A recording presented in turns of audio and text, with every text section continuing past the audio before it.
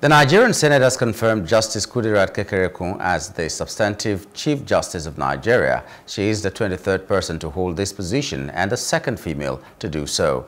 Justice Kekere-Ekun's confirmation followed a request from President Bola Tinubu, who nominated her for the role. The Senate, led by President Godswill Akpabio, suspended its rules to allow her to answer questions during the confirmation hearing. During the screening process, lawmakers questioned her on various judicial matters that recently, very senior members of the bar, we all know them. They are fond of being on um, uh, politics today. They were commenting on cases that are before either the Court of Appeal or the Supreme Court. And, and this wasn't the case in the past. Uh, we, we are saying under your tenure, yes. will there be a procedure where you bring some of them to justice? Because they ought not to, because their comments and their analysis tend to influence the final outcome of those cases. And in most instances tend to uh, bring about injustice because they are not aware, they are not saying of the facts that are before their lordships. Yes. But they will go out there, instead of arguing the cases in the, in the court, they will go and sit down on television and be arguing the cases on television. And for the junior lawyers, the younger ones who are coming up, they are now beginning to think that that is the norm. So if the court can invite, or even the NJC can discipline a senior uh, uh, uh, lawyer who is fond of sitting down to analyze cases that are yet to be decided upon on television, in social media and all that, I think it will serve as a deterrent and will also help to bring back the integrity of the judiciary and the judicial system that we are talking about. She emphasized the importance of maintaining judicial integrity and adhering to ethical standards. I think the first thing in giving my CV, I said one of the things that I'm known for is integrity.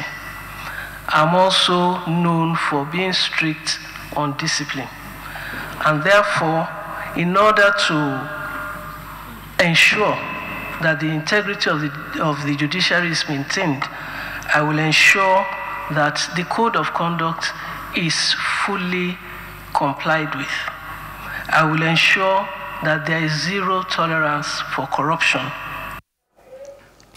Justice Kekere-Ekun argued that there should be limits in, on cases reaching the Supreme Court, particularly regarding pre-election matters. She stressed that such cases should conclude at the Court of Appeal. Additionally, she highlighted the need for timely handling of petitions by the National Judicial Council, also calling for measures to insulate the judiciary from external influences. After nearly three hours of questioning, the Senate voted in favor of a nomination.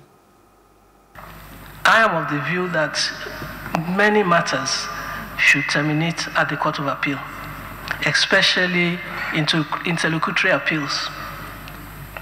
There's also a situation where pre-election matters come all the way to the Supreme Court, whereas in national and state assembly elections, the substantive elections terminate at the Court of Appeal.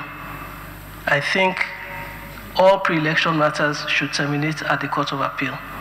So many matters need to terminate at the Court of Appeal so that the Supreme Court can really live up to its designation as a policy court. Uh, put the question. Will the Senate approve the nomination for confirmation of Honorable Justice Kudirat Kekere-Ekun for appointment as Chief Justice of Nigeria. Those in favor say aye. Those against say nay. The ayes have it. The nomination of Honorable Justice Kudirat Kekere-Ekun for appointment as Chief Justice of Nigeria is hereby approved.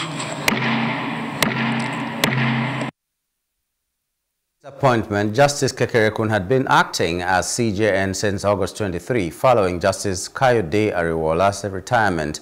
She has served as a Supreme Court Justice since 2013 and is recognized for her significant contributions to Nigeria's judiciary. Hello, hope you enjoyed the news. Please do subscribe to our YouTube channel and don't forget to hit the notification button so you get notified about fresh news updates.